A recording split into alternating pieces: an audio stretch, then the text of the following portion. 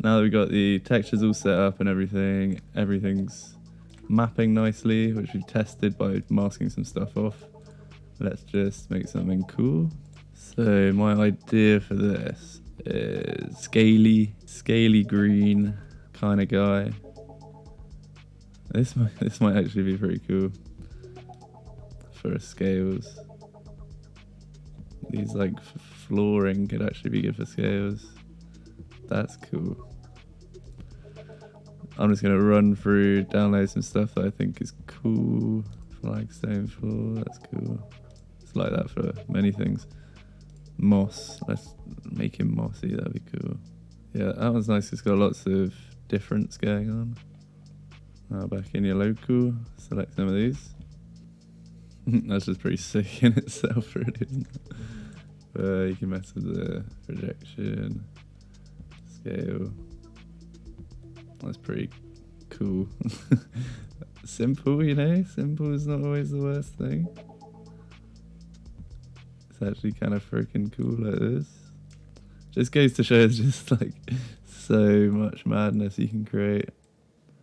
Why don't okay, I'm just gonna save this out like this.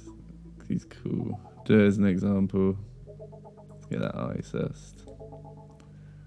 Yeah, I think that's pretty awesome and simple is not always the worst thing. Maybe tiling actually. Sick! What uh, like some horror movie dude, but it's really cool. You know, I just can you ask for much more? I don't think you can. Let's delete that. Here's a cool masking technique. Mask stack. Up here on the right, mask component normal. This will do it literally directionally. So for like weathering and stuff, like something's been hit by the sand or something like that, it's like this is really, really sick for that. And like you can see, it's, it makes a detailed mask off of off of this, and like yeah, this effect is just really cool.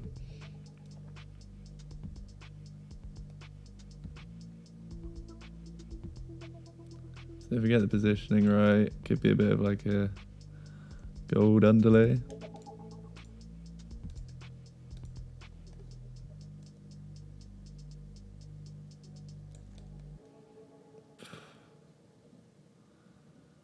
It's just awesome. it's just, I'm just stoked. Stoked on how cool these characters can come out. I'm gonna make that a clean 90. Make that a clean zero. So it's just super symmetrical etoile texture. Um, change his color to blue. so awesome. Just have a little play.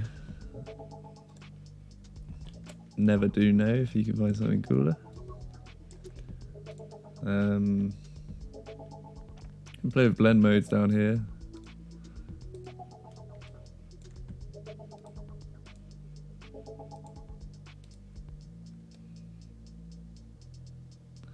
Just a whole madness, really, isn't it? Green, nasty. Just need to think something that doesn't look to- totally horror movie. To be fair, um, I think this is awesome, but I've got to think about what I'm actually using this for, and is it just going to scare people?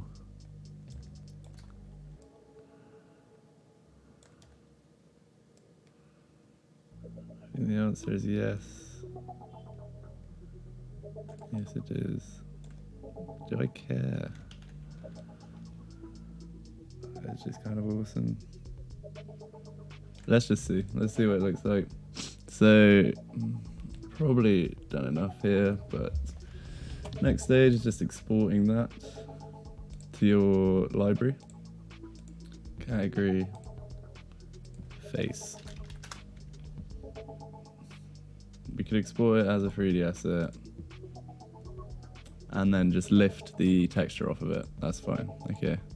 So that's all there, 3D asset. So you have to select a category to be able to export. I'm gonna call this face category. Export to library. And now in Bridge, you should have your retextured model.